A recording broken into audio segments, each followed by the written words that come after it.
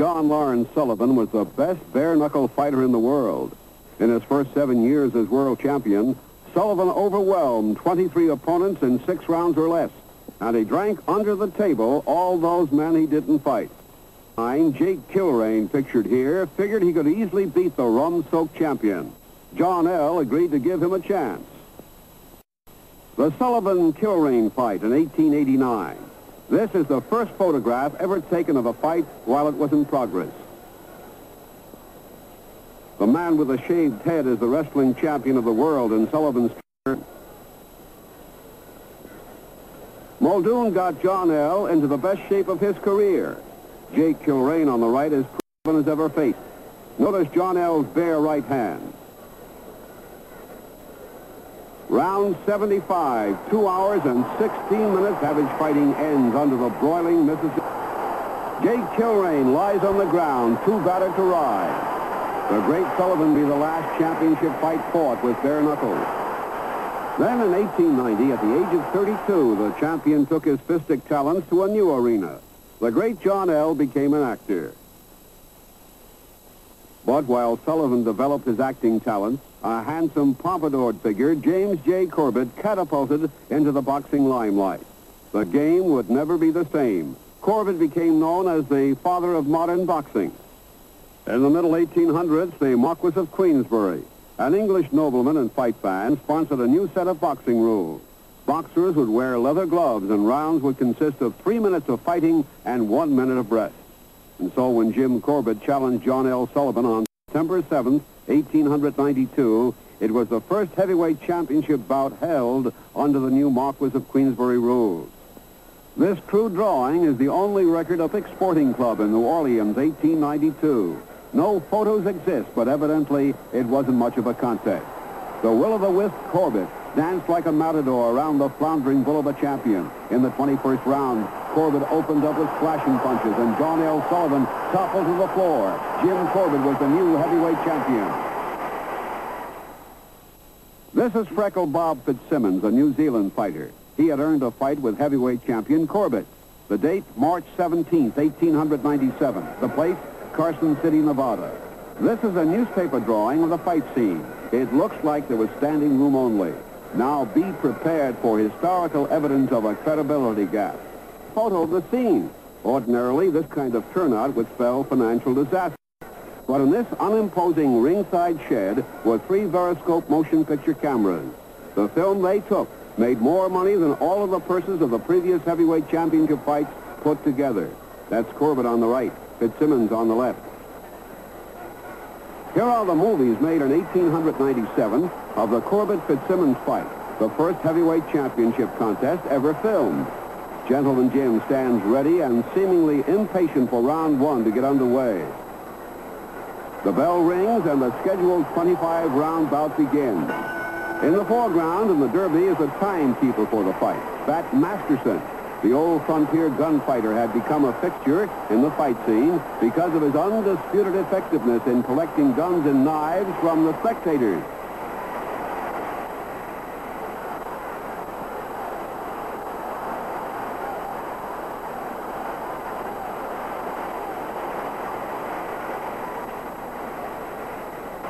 Corbett, with his back to the camera, is still ahead on points, and Fitzsimmons' nose is bleeding badly.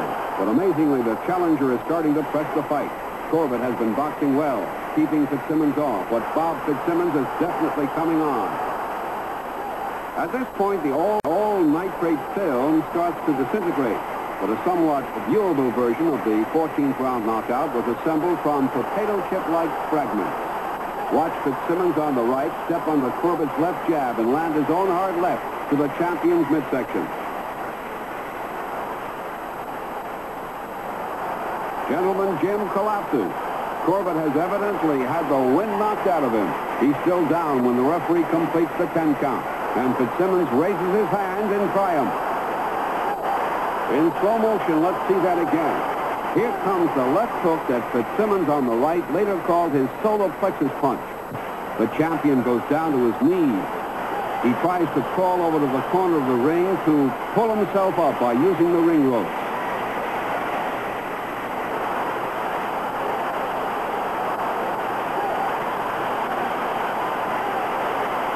Meanwhile, Fitzsimmons stalks around, keeping a close watch on his progress.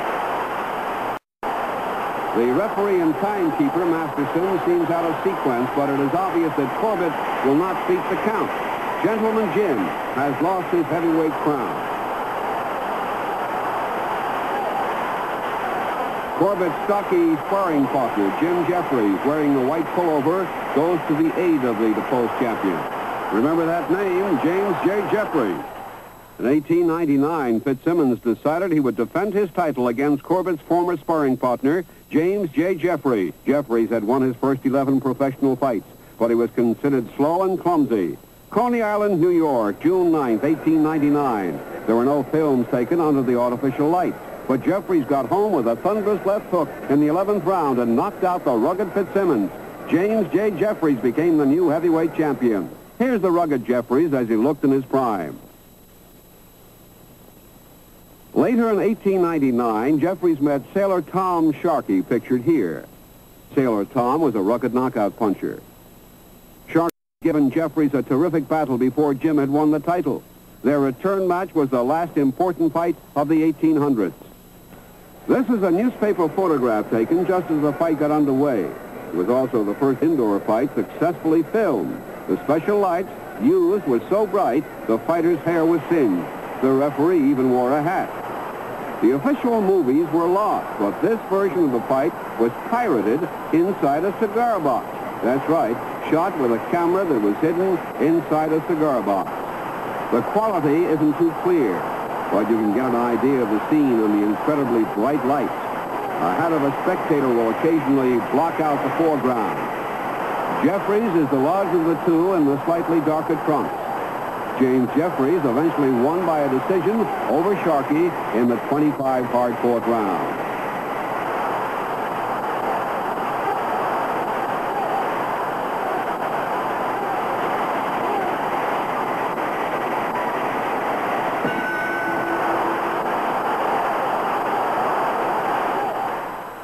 Jeffries, pictured here, retired in 1905. He had no one left to fight. What was left of the competition had melted into air at the prospect of facing the man who was now billed as the world's strongest human. Little Tommy Burns felt he could follow in Jeffries' massive footsteps as undisputed heavyweight king. Burns defeated Marvin Hart and laid claim to the vacant title. In 1907, Tommy Burns is about to meet undefeated Australian challenger Bill Squires. The date, July 4th, 1907. Bill Squires on the left, working himself into a fighting pose for the photographers. The referee is the retired undefeated heavyweight champion, James J. Jeffries.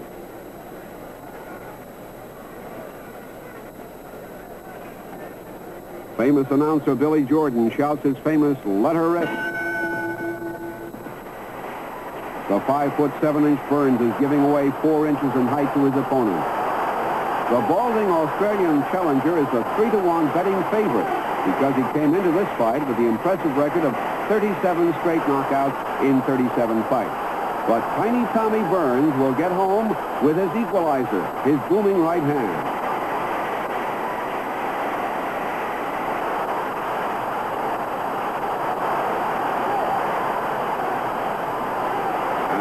There it is. Is down, but he's right up. The referee, James J. Jeffries, watching the action.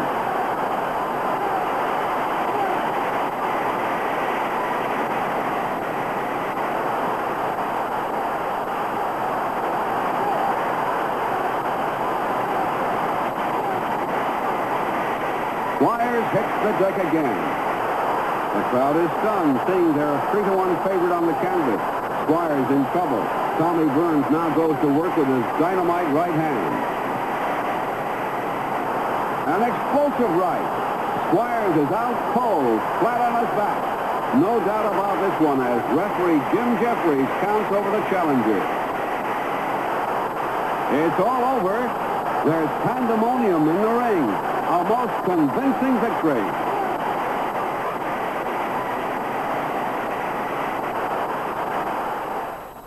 Here is a picture of dapper Tommy Burns as he looked in 1907.